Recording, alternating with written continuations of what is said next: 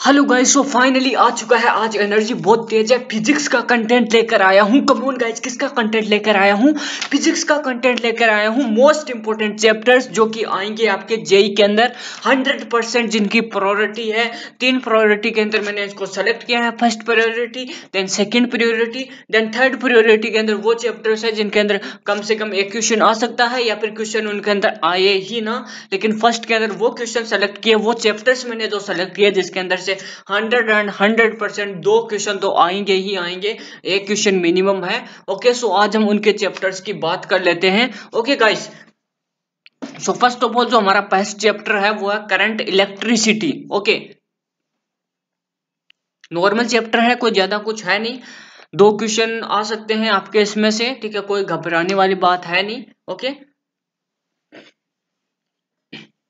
आगे बढ़ते हैं। आगे हमारा दूसरा ऑप्शन है, वो रोटेशनल मोशन है। या थोड़ा सा डेरिवेशन है, लेकिन ठप नहीं है, बहुत ही आसान है। रे ऑप्टिक्स आपने देखा होगा इलेवंथ से पढ़ते आ रहे हो ट्वेल्थ में भी आपने पढ़ा है। बहुत सिंपल है लेंस वाला क्वेश्चन आएगा न्यूमेरिकल टाइप आएगा।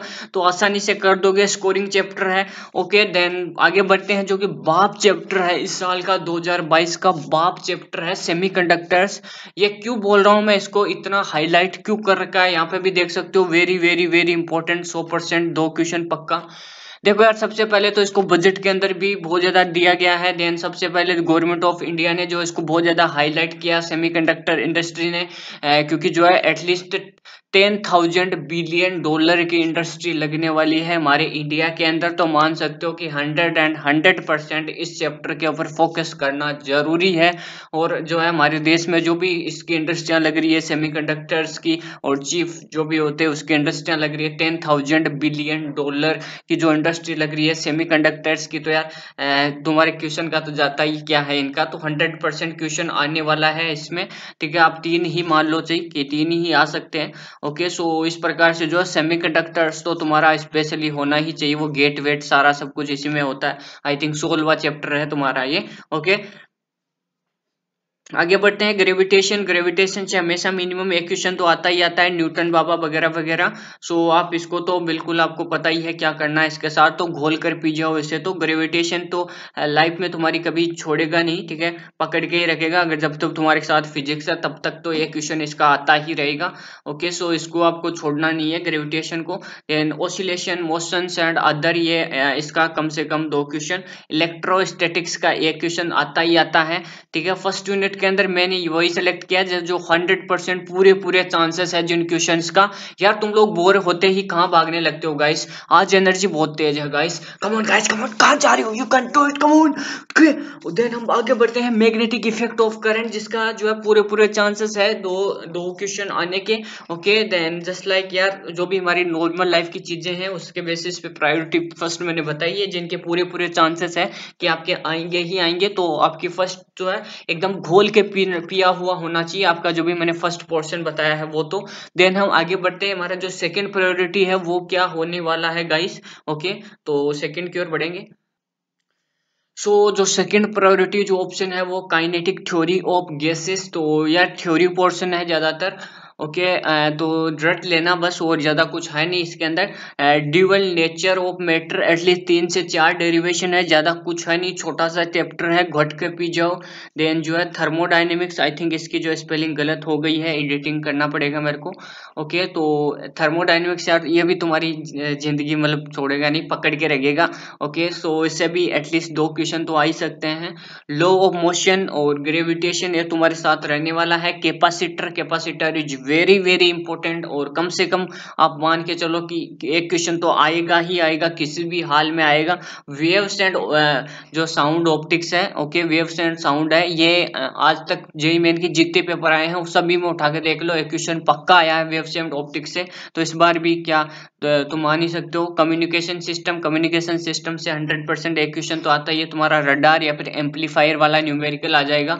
ओके सो वो तुम प्रिपेयर करके रखना कम्युनिकेशन सिस्टम है जो तुम्हारा एम्पलीफाई एम्पलीफायर वाला क्वेश्चन आता है ना कि इतना इसका वो है, इतना इसका वो है तो इसको कितने से एम्पलीफाई किया जाएगा? और तुम्हारा इसमें यार वो चित्र भी बनवा सकता है ओके डायग्राम दिया होता है और तुमसे पूछ सकता है कि क्या सिस्टम है इसका तो इसको भी आप ध्यान रखना। और अल्टरनेटिंग करंट तो ये तुम्हें आता ही है नॉर्मल चैप्टर आसानी से कर लोगे तुम लोग। ओके देन हम आगे बढ़ते हैं, हमारा थर्ड पोर्शन क्या है? सो चलिए गाइस थर्ड पोर्शन की ओर। सो so, यार ये जो है ये थर्ड प्रियोरिटी है और ये लास्ट प्रियोरिटी है। इसके अंदर ये है कि कम से कम एक क्वेश्चन आ सकता है या फिर क्वेश्चन आए ही ना। सबसे पहले किसमें से आ सकता है? एटॉमिक फिजिक्स एटम के अंदर से आ सकता है स्पेशली आएगा ही आएगा। एटम में से न्यूक्लियर फिजिक्स में से आ सकता है। And motion in one dimension and two dimension numerical portion है वैसे तो। एंड वेव एंड ऑप्टिक्स का तो मैंने आपको पहले भी बताया इसमें से आता है। एंड यूनिट एंड डायमेंशन इसमें यार आपको फॉर्मूला पूछ सकता है जो भी तुम्हारी मात्रक होते हैं स्पेशली स्पेशली यूनिट्स जो होते हैं फ़र्स्ट चैप्टर है, तुम्हारी फिजिक्स का स्पेशली इलेवंथ क्लास वाले बच्चे ध्यान दो। ओके जो बच्चे, तुम जो इलेवंथ क्लास में पढ़ के आए थे फ़र्स्ट चैप्टर जो था ना, वहाँ पे जो है, तुम्हें मात्रक सिखाए जा रहे थे इसका न्यूटन का एन है, उसका वे हो, इसका वो है। सो उस प्रकार से जो आपको स्पेशली एल निकालना पड़ता है। ओके सो ये वो पोर्शन है यहाँ पे, सातवा जो देख लो यूनिट्स एंड डायमेंशन इसमें से पक्का आता है, पक्का तुमको पूछा जाएगा कि इसकी क्या वैल्यू होगी, इसका ये कौन सा न्यूटन, ये कौन सा, फलाना फलाना फलाना एल के अंदर वैल्यू पूछ सकता है तुम्हें। ओके सो इसको ध्यान रखना आप लोग। देन है work energy and power okay numerical portion है न्यूमेरिकल आता है इसमें से। ओके एंड अगर तुमसे प्रिपेयर नहीं होता है तो इसे छोड़ भी सकते हो तुम। ओके थर्मल प्रॉपर्टी जो मेटर सारा का सारा न्यूमेरिकल पोर्शन है, बहुत कम चांसेस है आने के। ओके, जो है, इसके अंदर जो मोस्ट इंपॉर्टेंट है वो यूनिट एंड डायमेंशन में से तुम्हें फॉर्मूला आएगा ही आएगा हंड्रेड परसेंट एक क्वेश्चन कन्फर्म है। एटॉमिक फिजिक्स एटॉमिक फिजिक्स के अंदर एटम बाबा वाला वो भी आएगा, ओके वेव ऑप्टिक्स तुम्हें पता है। न्यूक्लियर फिजिक्स जो तुम्हारा पंद्रहवा चैप्टर है न्यूमेरिकल आता है, उसमें से रेडियन वाला रेडियन वाला ध्यान रखना तुम लोग। जो रेडियन होता है ना, ये इतनी वो थे, उसके रेडियस इतने निकल गए, इतना कितना बच गया, और जो है, कितने साल में कितने रेडियस निकल जाएँगे, वो जो पंद्रहवा चैप्टर था उसमें से क्वेश्चन पक्का आएगा। रेडियस वाला ऑलमोस्ट आता रहता है। ओके और तो कुछ है नहीं इसके अंदर। ओके एंड मुझे इसका फुल एक्सपीरियंस हो चुका है इतने सालों में। My name is Kamal Kishore Saini and I मैं I I T N okay guys thank you thank you so much जो भी है मैथमेटिक्स और जो है हमारा केमिस्ट्री का जितना भी है, सारा के सारा तीनों वीडियोस मैंने ऑलरेडी बना दिया है। वीडियो के लिंक में आपको वीडियो के डिस्क्रिप्शन में आपको लिंक मिल जाएगा। आप वो भी चेक कर सकते हो कि उनमें भी कौन कौन से चैप्टर्स मोस्ट है। Okay guys thank you. Thank you so much